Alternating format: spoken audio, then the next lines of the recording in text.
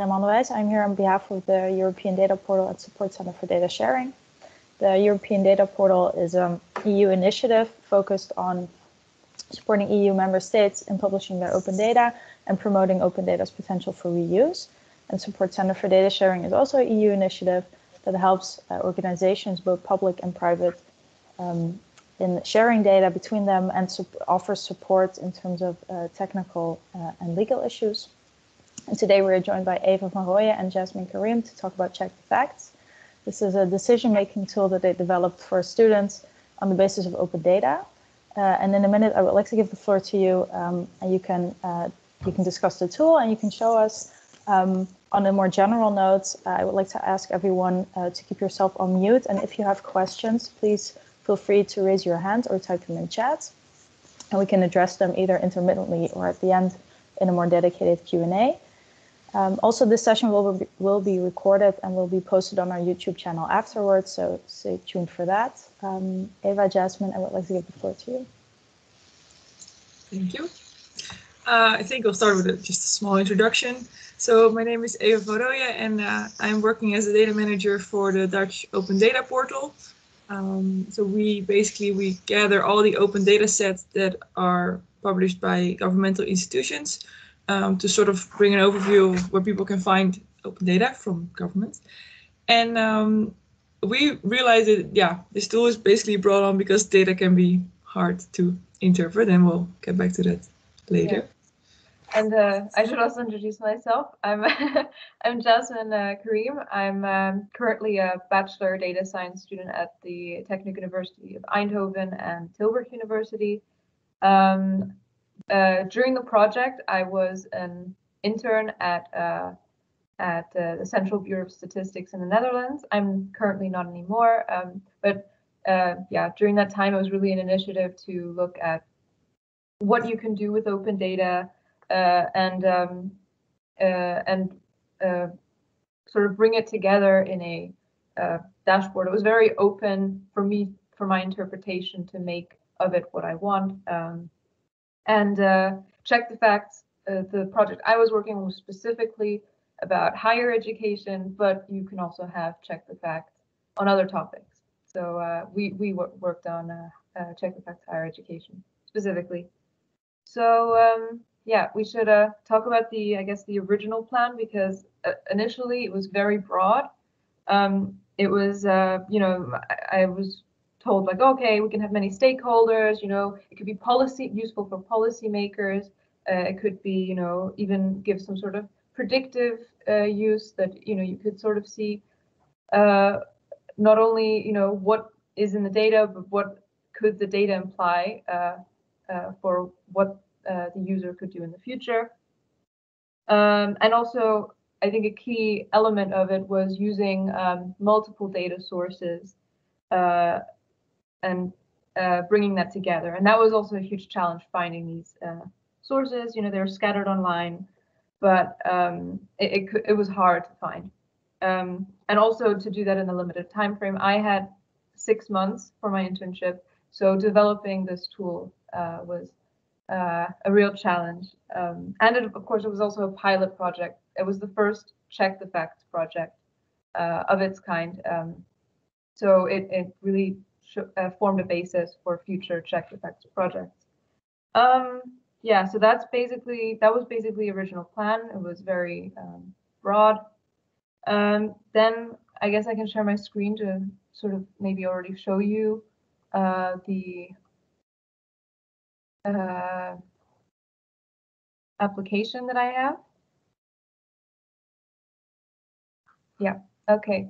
So, um, and I'll just talk over this uh, and then I'll explain in detail what everything is. Um, so first of all, uh, when I started, when me and Eva uh, started, uh, as I said, it was very broad and we had to really focus on something. It couldn't just be, you know, oh, let's make an application for everyone that everyone can use and it's all about higher education. We really had to focus, okay, the user who are we going to focus on? Uh, it can't be, um, oh, we thought about, you know, looking at policymakers, maybe uh, can this application be useful for universities? But in the end, we chose students and particularly students who are in high school, their last year of high school and interested in getting information uh, about going into higher education, uh, and also bachelor students looking to either switch their studies or um, go into a, the master phase. And So maybe sort- yeah. sorry to clarify like we in the beginning check the facts was more like okay so we have all these data sets and you can use data to to check some facts to get some information to make an informed decision about uh, anything basically and there is such an overload of data available that it might, might become difficult if you have one specific decision in your own life and you want to use data that it can be a bit too overwhelming to go through all kinds of files and and uh, and analyze data yourself so that's what we also meant with all the kinds of options and stakeholders in the beginning. We really had to find one specific decision and then move on to finding the data set. So in this case, we chose like, okay, I want to go for a new study. Um, and then at the next stage, we actually went into all the possible data sets. So that's also the reason why you can apply this, like this check the facts tool for all kinds of other decisions as well, like buying a house, for example, or um, moving to another city or all kinds of decisions. Um, yeah, and then you can. Yeah. Was there a reason you uh, chose to focus on the education sector specifically for this first check the facts uh, pilot?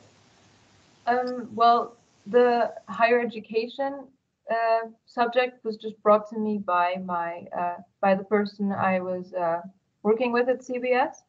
Uh, for me, the reason why I think it might have been uh, well, for me, it was easier, I guess, to work on something that was close to me. Uh, as an intern, I I'm a student, so I could easily, you know, uh, uh, figure out what a user would want from such an application. It helped, I think, a lot. If it was something very unrelated, like um, uh, or something that was very um, maybe tricky, uh, that I was maybe not, uh, I haven't experienced in my life before, uh, it might have been difficult, and I would have needed to maybe do more phases of interviewing people, what they want, and uh, uh, and with the time frame, maybe that's why higher education was chosen because it's maybe easier for for the intern for me to work on it. So yeah, I think that's that's why. And I also Uh, think that it has a nice potential for, for, for example, from a European standpoint, like that you could have um, the information, you can gather the information for different schools, different universities, and bring it onto one tool because per country you have all different uh, prerequisites for study programs. And if you would be able to make one tool where you can have study choice selector uh, for all these universities, I think that would be interesting. But we'll get back to that later as well because we have, Might be a next one. yeah, we type mini version. yeah so um so yeah so then we found relevant data sets um i can show you a bit um we found uh, data from duo from um, openstreetmap from cbs it was really um uh it, it, that took a while because process we also found um for example uh, a data set from uh, Studiekeuze 123, which is a website that currently exists for higher education purposes as well. It uses both open data and private data. Uh, so it was tricky to figure out, can we use this data set? Is this open data? That was a, you know, part of the challenge. Using only open data, what can you create? Um, and uh, and we had to also take take keep in mind um, what are the user requirements. A student uh, and I did this through asking students as well, um, what do you want from such an application? And they, um, and I had to sort of find the intersection between what, what the user wanted and um, what is actually available to use. Uh, and in the end, we, we found that the um, Duo datasets uh, and also some CBS datasets were really useful, um, which are the, you know, um, uh, Duo is like uh, the government uh, organization within uh, for higher education. Uh, let's see. So then we found three areas that are so the from all these interviews with students, we found that there were mainly three areas that uh, you could sort of so three pillars you could uh, put all their questions and interests in. one was student housing, which was really important when they're trying to make a decision on, you know, where do you go to uh, to study, what do you want to study. Housing is a huge issue for them.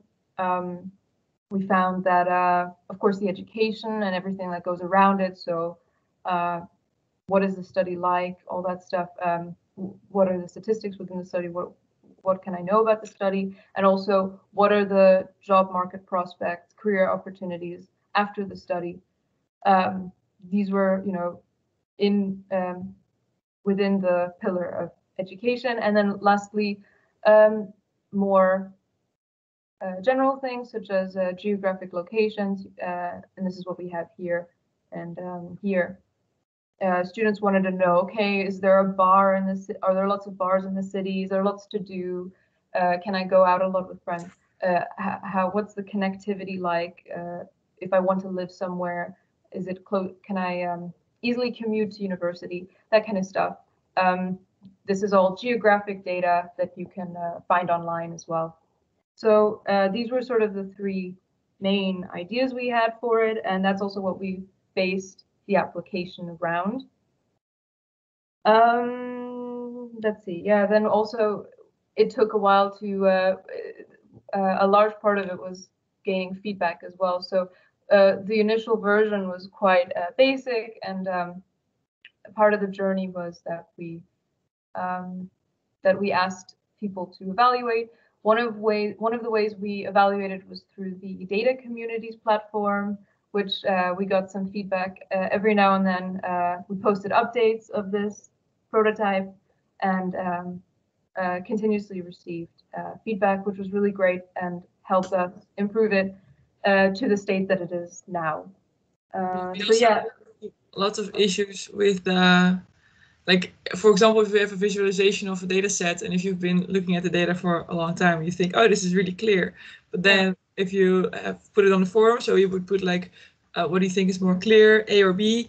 And um, people could just people can just vote or leave feedback. And then you notice that one map with everything is not the best option to show the data actually. Yeah. then we for example switch to these tabs you can see here in the study program the job market and the analytics page to sort of tailor the tool to the phase of the decision students were in, for example. So yeah. in programs phase, you have a really, really general overview. For example, in this matrix, this table in the at the bottom, um, what study programs there actually are. And then the job market for one specific study or a few specific studies, what would be the um, the effects or your chances on the job market. So you can kind of guide them guide them through this decision making process. Yeah. Yeah, exactly. So uh, yeah, maybe also now to explain a bit more in depth what everything is because we gave a bit. Um, um, yeah, so the filtering aspect of it was super important. Uh, as you can see, like when I showed the, all the uh, instellingsnaam, which is the universities, um, it's not really you can't really see what's happening. So filters are super important. Uh, were super important part of this application. If you um, only care about universities that have, let's say, technique as a student, you're a very technical student. Now you can already see that it's a you can see at least the names of the universities and, and so forth. So if a student would like to um, uh, filter on this, uh, this is from all from the data set uh, sets that we've combined.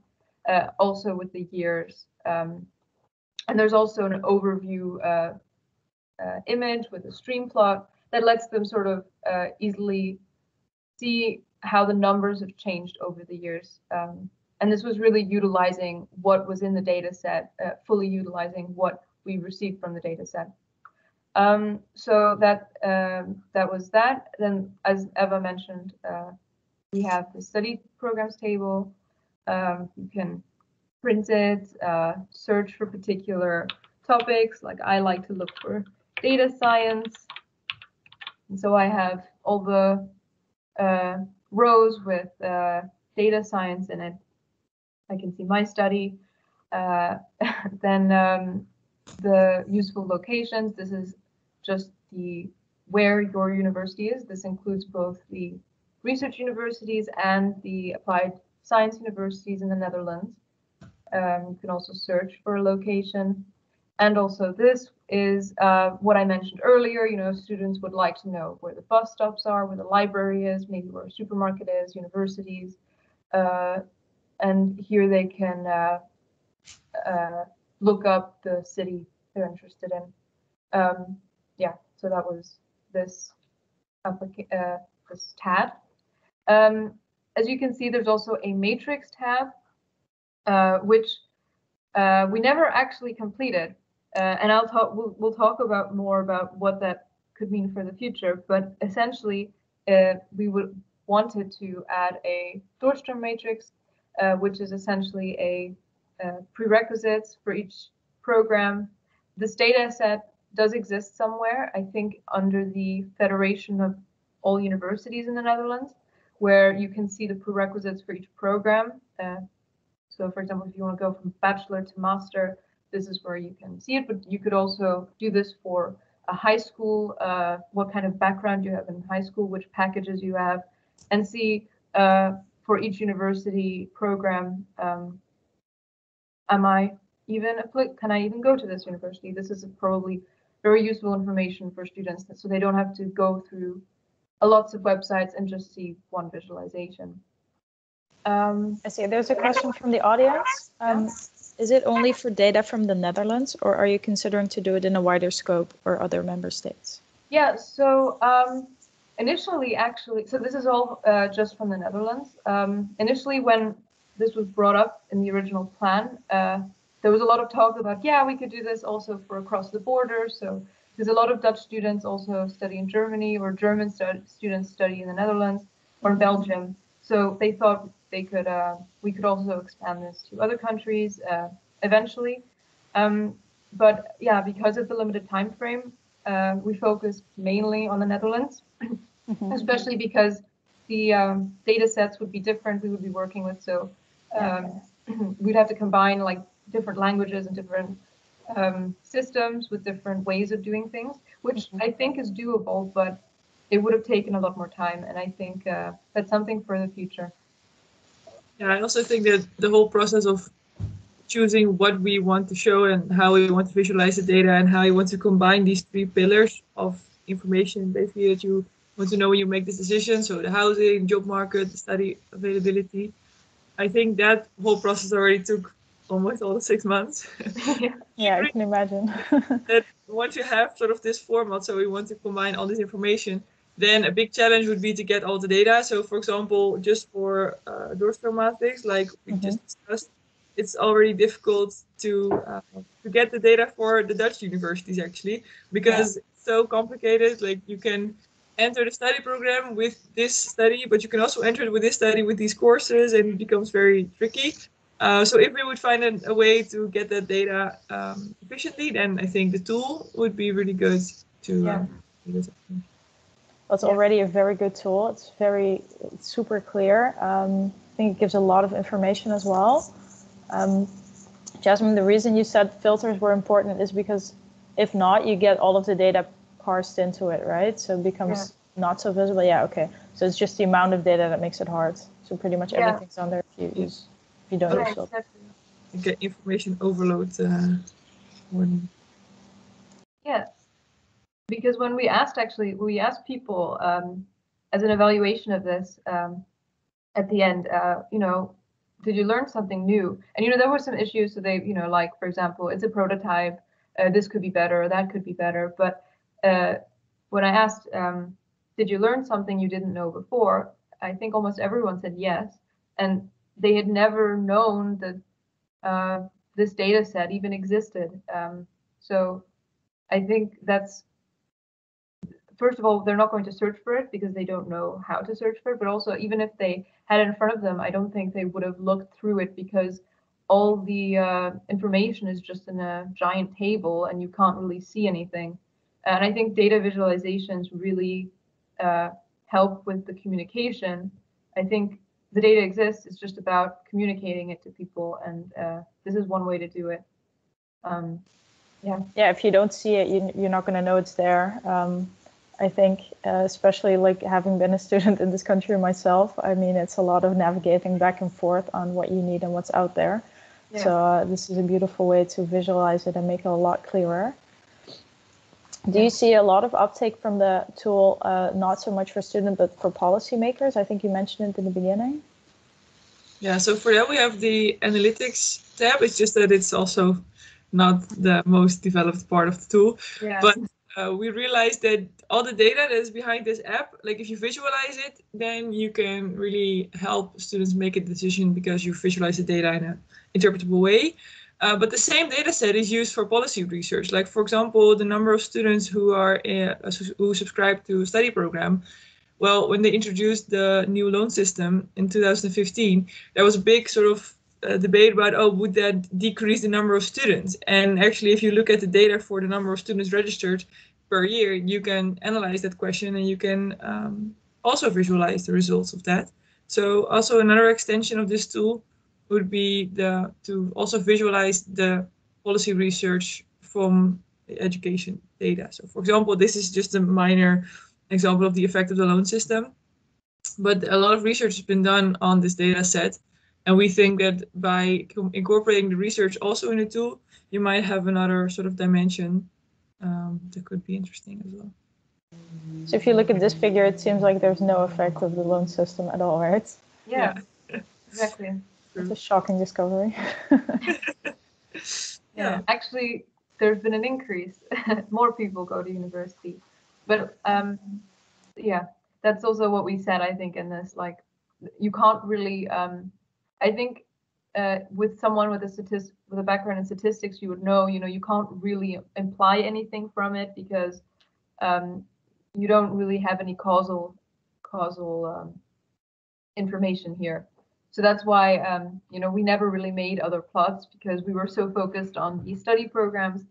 Uh, but you could do some sort of analysis and sort of show, um, sort of a, do an investigation on uh, how to best answer this question and yeah. uh, what might have caused this increase uh, if it's not the uh, loan system changing. Jasmin, you showed um, um, so on the on the full overview of the dashboard sort of view. Um, at the bottom, you said um, you also monitor job opportunities. Yeah, that's. How does um, that work? Uh, so the job opportunities we have here in this tab actually recently uh, added it. Um, this wasn't in the previous version, which I showed uh, in January. Um, but uh, yeah, I just used um, CBS data. It had the same. Uh, so what was nice was that it had the same, uh, for example, CROHO code, which is the uh, like area of study, which you also find um, here as well in this data set from Duo. And in this way, you could um, also look, this is per study richting, you could have different options. But in this way, you could sort of uh, connect uh, that data set with this one, showing uh, maybe not per study program, but per area of study, uh, what the uh, job, um, uh, how many people graduated from this job and how many from, from this how many people got a job within, let's say, a month? How many people got a job within two months from these different um, uh, backgrounds? Uh, and also per year, you could see the progression. Um, I think this plot I would still need to further develop because I, I had some ideas, but I, uh, because I don't work at uh, CBS anymore, I'm not really actively working on it now. But um, in in this way, you can really you, you can see how uh, it would be possible to uh, connect through the CROHO code, uh, the Duo dataset, which is about individual programs, and um, and the CBS dataset about uh, job market opportunities. What did you find to be the biggest challenge in developing this uh, this dashboard? There were many challenges.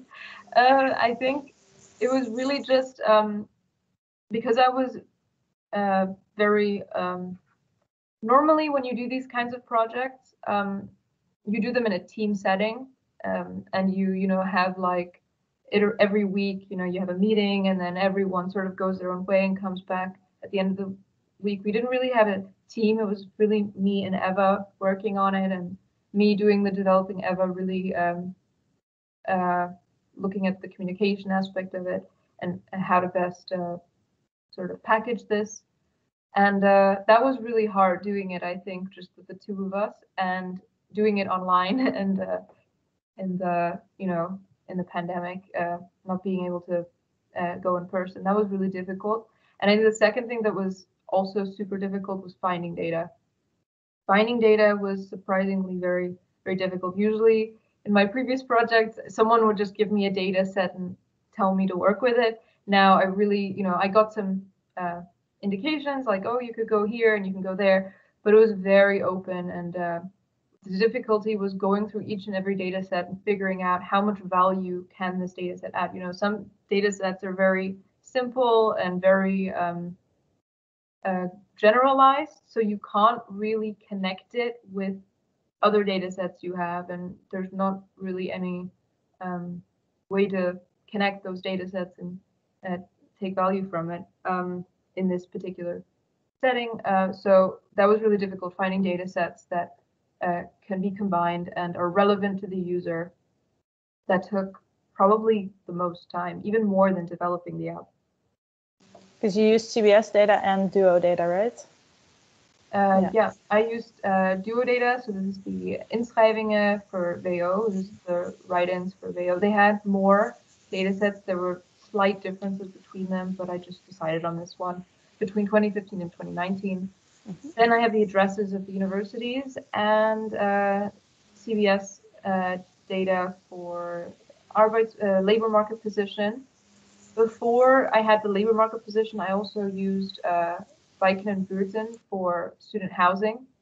Unfortunately, there was no that that was sort of a limitation of this um, project was that student housing data is awfully difficult to find um, because it's uh, you have general reports about student housing, you don't actually have, and you have uh, data on housing in general, like with Wijken and Buurten, which is uh, doesn't really discriminate between a normal resident and a student resident.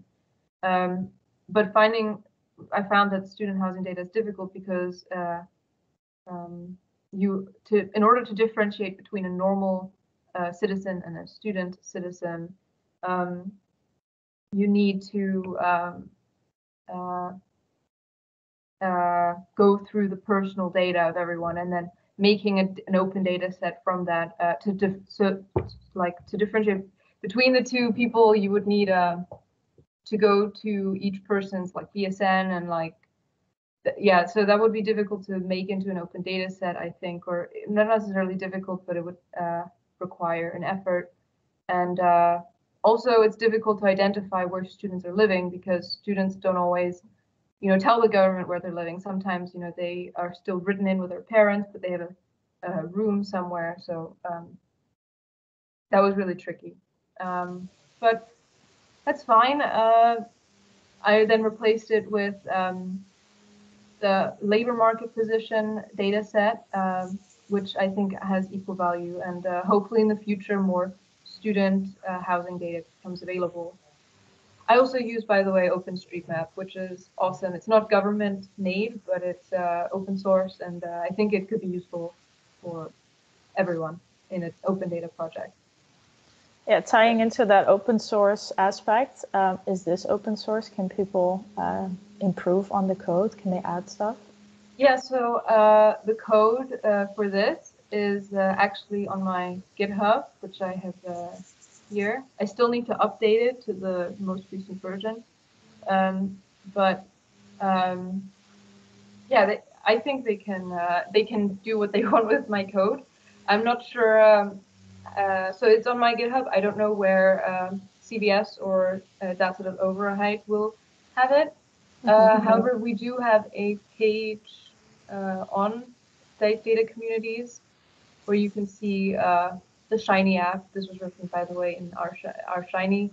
Um, and hopefully there's a way that we can communicate over it. There's also a forum here. There's also where we got some feedback, where people can uh, comment and uh, give suggestions, but also uh, maybe upload uh, code.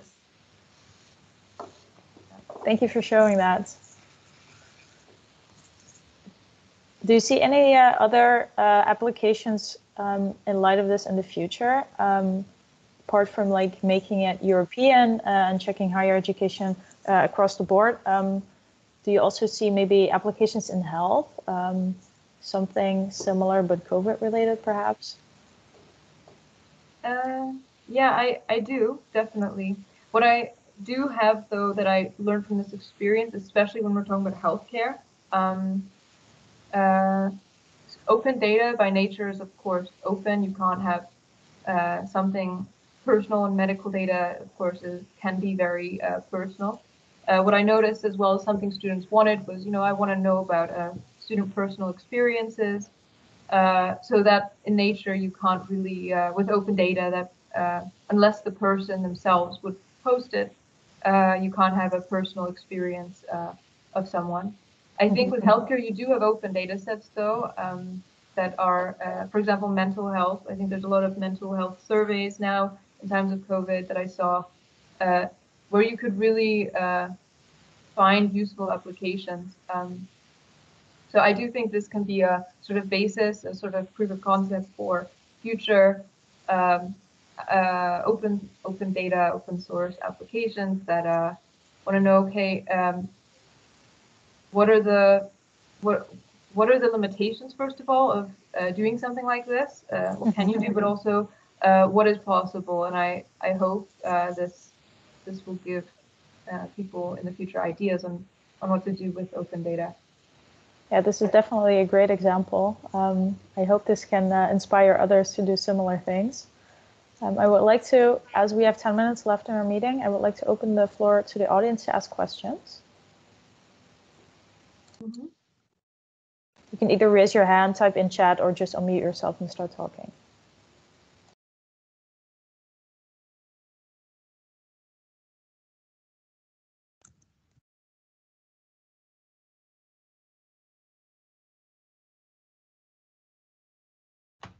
So just share the link just for after the podcast if people want to review the code.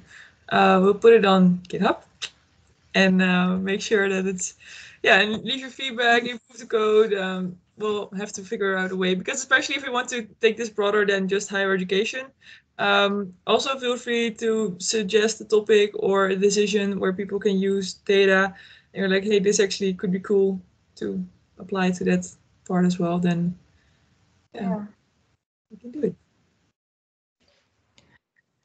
what is next for both of you right now? So um, I understand, Jasmin, you no longer work at uh, CBS, um, but what, yeah, what is next in your funnel following this great application? Well, I actually just just started uh, an internship at Microsoft, so uh, I'm in my last year of my bachelor, and I wanted to learn as much as I can, sort of uh, when I can, uh, and uh, I'll see how that goes. So that you know, I'm quite open about my future and I'll go where where uh, whatever happens, so so to speak. But um, I do still want to do uh, a master um, after this. Um, I'm not sure where yet, but that's sort of my um, my uh, goals and i also i really liked the like doing a project like for even though this was for uh, CBS and for KOOP I also felt it was for me, like, oh, this is my project. So I really like that. I'd like to do more projects like this in the future. Gianfranco, go ahead. Uh, thanks, thanks first of all for for for being with us uh, today as well. I, I, had the privilege to see the app in a preview back in January, so I'm very glad to see how it has, let's say, uh, fixed the sharp corners, complemented what was missing, and so on. Um, and I wanted to build on a question that Immaculata from the publications office made earlier about exporting the project or make it uh, reusable uh, across uh, European Union. And again, without uh, asking you to do the work for free, I wanted to remind you that there is something called the EU Datathon that is a sort of a competition from the, um, the publications office for uh, data related projects, prototype, inventions, ideas. And if you don't want to do it in your spare time, you may do it as an application to, to that. And that may be quite a nice way to, to invest more in this and make it portable and potentially give it in the hands of, of the commission for further maintenance, perhaps, if you like. I, I don't know how easy it is. Actually, this is a good question for Eva, perhaps. How easy it is to um, find opportunities to collaborate internationally when you have in your hands uh, a prototype or a product like this that could work for others as well? Yeah, good question. no, I really think that these tools, uh, once you have sort of the layout of the tool, so that indeed was something we spent a lot of time about. Like, okay, if you have it on the left, the sidebar, and then you filter, and then you move sort of through the screen, how can you sort of approximate the the actual decision? And but then once you have that, it doesn't matter if you have students from uh, Belgium or the Netherlands or France or whatever. It's just the problem of getting the correct data. I think that that will be the biggest challenge. So we'll have to contact either data portals because I saw that quite a lot of European countries have their own data portal, so they probably have the similar data sets. It's just that DUO then is really a Dutch institution, and you probably have to find yeah. the French version of, of DUO, for example, to get the same data. Um, but yeah, I really think it would be cool to continue the project.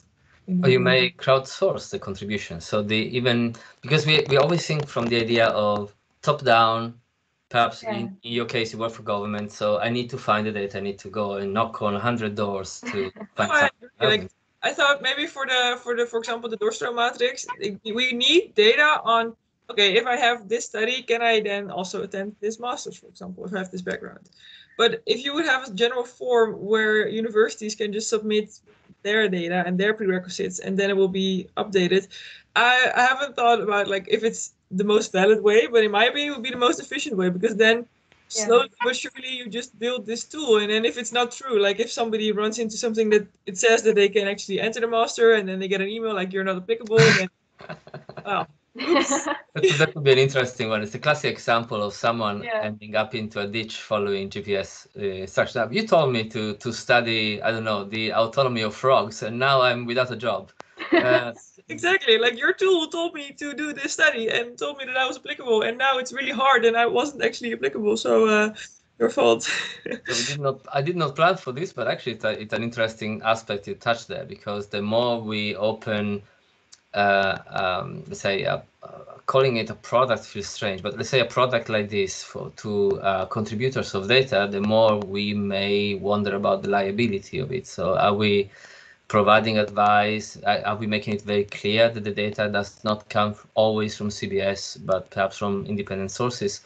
Um, so instinctively, and I'm talking as an individual here, not as the uh, as someone in the team uh, for the European Data Portal, I would say that it can be managed. Perhaps it, it, even just visually, warning that when, for example, imagine this diagram you have on screen now, if it was including also data that was crowdsourced, it may simply have a disclaimer of some kind saying yeah. these results, this forecast, these numbers come from also data volunteered by, say, uh, someone, and click here to see the contributors. I would prefer the data to go out rather than, uh, let's say, losing an opportunity because we cannot find an official source, but that's me. What, what... I, I agree, actually. Yeah, I can see that. You could probably, as long as the communi- you communicated effectively to the user that um, what the source is and uh, how much they should uh, take it seriously, so to speak, and how the, it's not a it's not a tool that tells you what to do. It's a tool that uh, um, informs you a little bit better, hopefully. That's I think also the biggest challenge with communication of data. It's like okay, so we have actually on one end you could say okay we have all kinds of open data sets that are about education. So if you want to have if you want to make a decision about your education use the data. Well that's not really available. That's not really easy for people to do. So that's why we make this application to make the data more interpretable but then the other end would be that it would be sort of an, a study advisor robot person and that would not be good i think i think you would really have to stick to the data visualize it and it's the same with the analytics step like we can visualize the graph of the number of students before and after the, the loan system. Um, but then the final conclusion is not really a data visualization. Then you would need to have a model. And if you have a proper model, if you know which models are uh, applicable to answer such a question, then you can have a discussion, for example, about it. But that was a big, I think, unanswered question of this project in the end. Like, where is the line between uh, presenting information visually and drawing conclusions from the data. Yeah. So Uh, Yeah. It's a very good point. I mean, sometimes uh, we call it the difference between uh, data-driven decisions and data-informed decision. And and sometimes in industry, we see a bit too much, let's say, bias towards the first because we expect this kind of magical AI taking decision for you and then I'm done, right? Yeah. Uh, I, again, as a humanist, I don't know. I, I have a feeling that this as you are saying, decisions like that are so much impactful on a life that you want to be as informed as possible, but ultimately you probably don't want a machine to take a decision for you. because you also you cannot really quantify the optimization criterion sort of like if you have well kind of a simple well maybe not simple but if you have a process where you're really clear on the restrictions and the optimization goal then you might use a model or like optimization algorithm to say okay then i have to do a or b but for such a decision as your your your study and the place where you want to study and the people with whom you will be studying for example it becomes way too complicated so to have Yeah. some information from data is helpful and then there's also a big part that's just Yeah. I agree. Yeah, completely. Yeah, and uh, that's also part of I think uh, part of the personal experiences of students. That's what what I remember uh, clearly from uh, what people told me is like, yeah, um, when you think about where you want to study, it's a lot of it is very personal. Uh, uh, personally motivated, and uh, also what you hear from, let's say, an aunt who studied there or a friend who studied there, that kind of information you can't really capture that in open data uh, and uh, well I, I at least i don't know how to Not yet. so maybe you can i just don't know how to but um, yeah so uh, that part um, uh, unless there's some open source way where people can share their experiences um, uh, you don't really um, you won't be able to get the full picture of uh, of the decision making process Yeah. And again, we go we go back to the crowdsource element of it that Yeah. can be managed, I believe. But yeah, but it it's a complement. It's a natural complement of everything you described. Um, and and and I believe there there is more work coming also from the European Data Portal in this space. I don't think we can talk about this yet, but um, yeah, over the next six years there will be also some of these elements. And also in in the team we have uh, Professor Elena Simperl. Um, probably said, I said it wrong, but Simperl, who uh, for many years has been researching how to crowdsource data. Uh, so that actually is a meta suggestion for my team in, in the call. Perhaps we, we can actually invite her to talk about that specific part of research. So how to make crowdsourced data credible. And you won't believe there are actually statistical methods just for that, that were developed for social sciences. So how can you trust, uh, say, a series of people being interviewed on a topic because they may naturally lie or be wrong. There, there are statistical methods to actually filter out the bias, the Oh. mistake, and so on. That's quite cool. That's interesting. Yeah, that could be used definitely in the future if it's uh, for such projects. Okay, thank you. Jasmin, Eva, I would like to thank you very much for being with us today and presenting the tool. Uh, I think it was super interesting. I'm very glad, um, uh, very happy to have hosted you. Um, the recording will be on YouTube afterwards. I will let you know, uh, but it will also be promoted on our, on our um, Facebook, LinkedIn, and Twitter channel. So you can stay tuned for that. I would like to thank the audience as well for attending today and asking questions. Um, and let's stay in touch. Yeah, definitely. Thank you for having us. Thank Okay. you. Thank you. Bye bye. Bye. Thank you very much. Bye bye. Bye.